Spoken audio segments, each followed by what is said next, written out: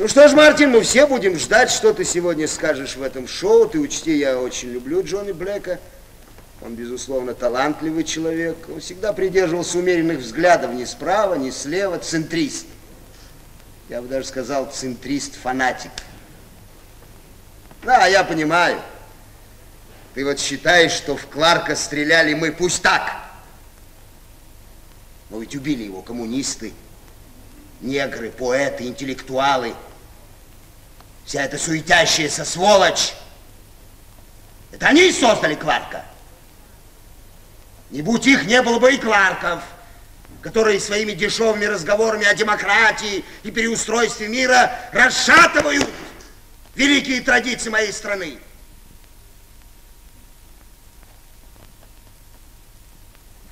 И в Кларков надо стрелять. Так я понимаю. Поэтому я не считаю себя виноватым. Напротив, я считаю себя правым, сто раз правым. Да, я понимаю.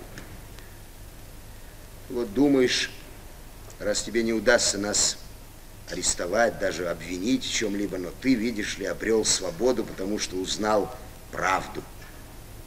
Ты сейчас независим. Ты ошибаешься, Мартин. Я не знаю, что ты будешь говорить сегодня в, этой, в этом шоу, но я предполагаю три возможных варианта. Вариант номер один. Убили коммунисты. Это было бы самым разумным решением в твоей жизни.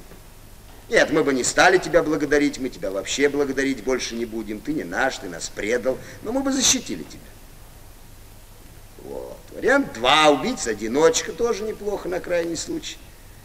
Мы бы не стали помогать тебе, но мы бы и не вредили тебе, Мартин. И, наконец, вариант номер три. Убили люди общества Джона Берча, Куклукс-клан, ну и выше. И вот я прошу тебя, Мартин, выслушать меня внимательно. Ну, есть четвертый вариант. Убийца Сид Келли, организатор заговора сам Дэвис. Но ты не пойдешь на этот вариант, ты трус. А вы так думаете?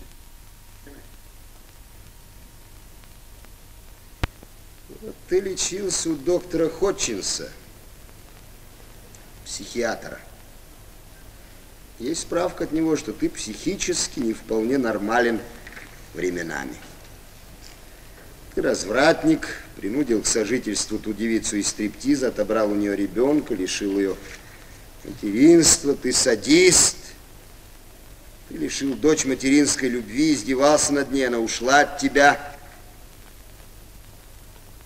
Ты уголовник. Ты растратил на личные нужды часть денег, данных тебе комитетом истины на расследование. Ты предатель. Выгораживал своих друзей-коммунистов, с которыми у тебя давние связи через Джо Веста. Ты и дочь хотел связать с ними.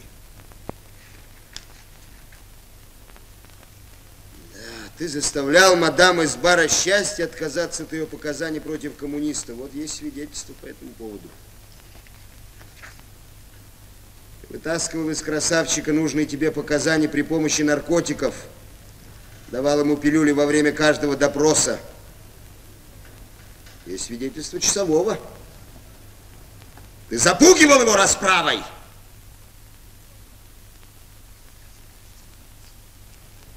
Справка по этому поводу будет от твоего бывшего следователя.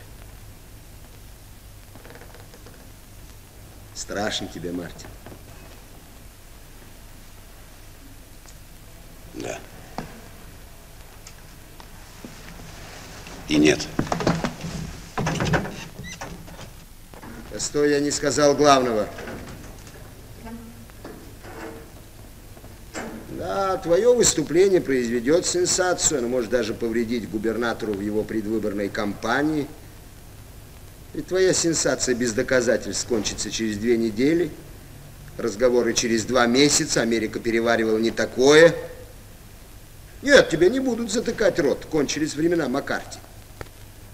Твои выступления напечатают несколько газет, тебя будут приглашать на телевидении, но ведь сотни журналов и газет с миллионными тиражами, десятки телепередач сотрут твое мнение в порошок, а заодно и тебя с любой твоей версией.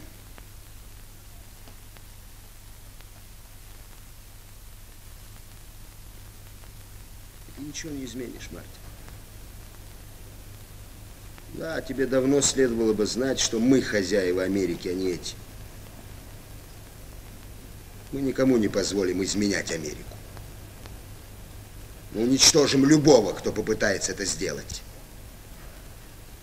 Любого!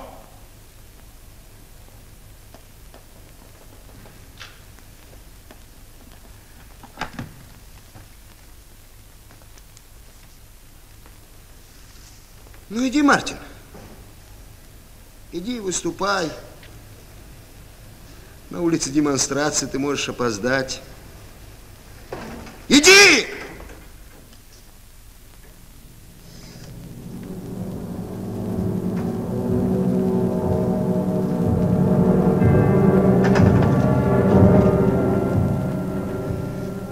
Знаешь, Мартин, мне неприятно смотреть на твое лицо. У тебя лицо покойника!